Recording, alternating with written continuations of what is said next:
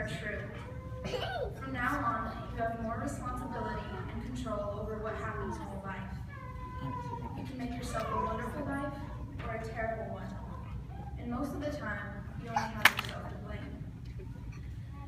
As William Henley says in his poem Invictus, I am the master of my fate, I am the captain of my soul. You can do it though. You can have a wonderful life. And get the girl, car, money, and everything else you always wanted. Because who doesn't want those things? Men thinks that happiness is measured monetarily. And isn't it? The Joneses have a nice car, so why shouldn't we? And a bigger one than the Smiths. Well, I have great news for everyone who thinks that way. You can achieve absolutely anything you put your mind to. With self-motivation hard work, you will accomplish everything you ever wanted. Will you be happy though? That's the question. There is a true story that bears being repeated.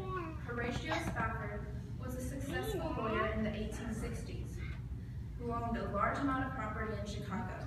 He was happily married to his wife Anna and had four beautiful daughters. Everything can be taken away though. In 1871, the Great Chicago Fire ruined him financially. His investments were totally destroyed by the fire. His business interests were further hit by the economic downturn of 1873, at which time he had planned to travel to Europe with his family. In a late change of plans, he sent his family ahead of him, and while they were crossing the Atlantic, they crashed into another boat and sank immediately. His four daughters. As Spafford traveled to meet his wife, he, he wrote these words when he passed the point where the ship had gone down. Though Satan should buffet, though trials should come, let his blessed assurance control, that Christ hath regarded my helpless estate, and hath shed his own blood for my soul. As many of you probably know, the chorus goes on to say that it is well with my soul. Spafford wrote this after a terrible tragedy, but instead of cursing God and becoming bitter, he praises God and talks about peace and contentment. Another example is my own guidance counselor. She had a very difficult childhood. You would not think so if you looked at her today, though. She has a wonderful husband, a precious son, great friends, and a good job. She does not dwell on her past tragedies, but instead on what she has been given. If you asked her what made her happy, she would not say her husband, kid, friends, or job, but those are a big part of her happiness. She would say that the true reason for her happiness is the love of God.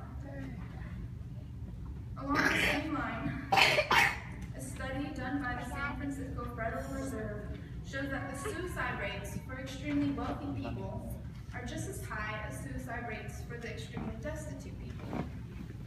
How do we reconcile this information with the belief that stuff makes people happy?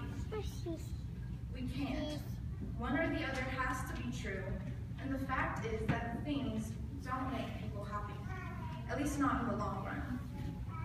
I once heard it said like this, every person has a God-shaped hole in their heart. They can fill it with anything and everything they want to, but the only way to really fill that hole is to accept Jesus as your Savior and to have a close personal relationship with Him. So go out there and get your picket fence and 2.3 kids.